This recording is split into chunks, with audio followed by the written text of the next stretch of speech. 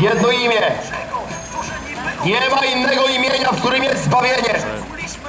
Nie ma innego imienia. W żadnym innym imieniu nie ma ratunku. Ale Jezus jest tym, który dał Ci ratunek. Słowo Boże mówi, że w imieniu Jezusa jest ratunek. To nie jest slogan, to nie jest religia. Ja poznałem Jezusa osobiście. Bóg chce, żebyś Ty wziął Go do siebie dziś. On chce, żebyś otworzył swoje serce. On chce, żebyś porzucił grzech. On chce, żebyś porzucił coś, co Cię niszczy. Nie mów mi, że nie grzeszysz, ponieważ ludzka natura grzeszna jest od początku. W kościołach wmawiają nam, że musimy robić różne rzeczy, że musimy się zachowywać tak czy inaczej, żeby osiągnąć zbawienie. Coś Ci powiem, to jeden wielki farmazon. Nie musisz robić niczego, aby uzyskać zbawienie, oprócz tego, że uwierzysz w niezasłużoną przychylność Boga. Uwierz to, że Bóg Cię pokochał miłością tak wielką, że zszedł tu na ziemię jako człowiek.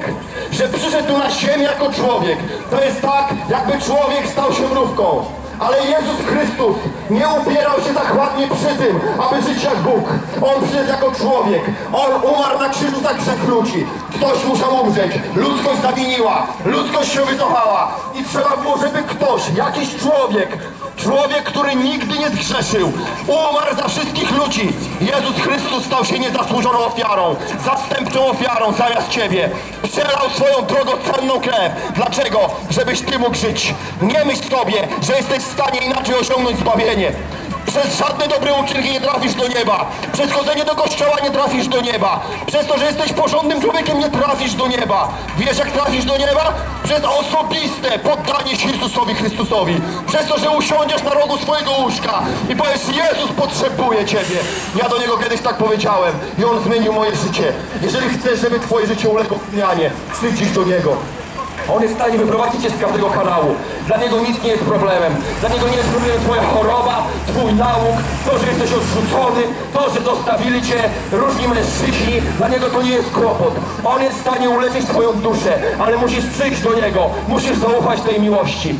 Wystarczy, że zaufasz miłości Boga do ciebie. Ta miłość objawiła się przez to, że Jezus Chrystus umarł za twoje grzechy. Że Bóg nie ma do ciebie żadnego żalu. Bóg nie mówi dzisiaj do ciebie, musisz zrobić to czy tamto. Bóg mówi uwierz. Wiesz co to znaczy uwierzyć, drogi przyjacielu? Wiara to jest pewność tego, czego nie widać. Przeświadczenie o tym, czego się spodziewasz. Czy spodziewasz się dobrego życia? Czy spodziewasz się prawdziwego dobrego życia? Jeżeli tak, to chcę, żebyś przyjął przez tą właśnie wiarę to, co Jezus zrobił dla Ciebie na krzyżu. Dzisiaj na placu Chopina 3 o godzinie 18 będziemy mówić świadectwa o tym, jaki wielki jest Bóg. Będziemy głosić Ewangelię. Będziemy manifestować Bożą moc. Chcę, żebyś przyszedł, żebyś wziął swoich przyjaciół. Może masz chorych ludzi wśród swoich znajomych. Może masz zniewolonych. Przyjdź z nimi. Wyjdziesz zdrowy. Wyjdziesz wolny. Wyjdziesz wierzący. Chcę, żebyś dzisiaj zrozumiał to, że to jest właśnie dla Ciebie. Że to jest coś dla Ciebie. Że właśnie po to Bóg przyszedł na świat tutaj, abyś Ty mógł przyjąć Jego ratunek. Przyjacielu, gdybyś tylko był Ty i Jezus na ziemi, chcę Ci powiedzieć, że On by umarł właśnie dla Ciebie.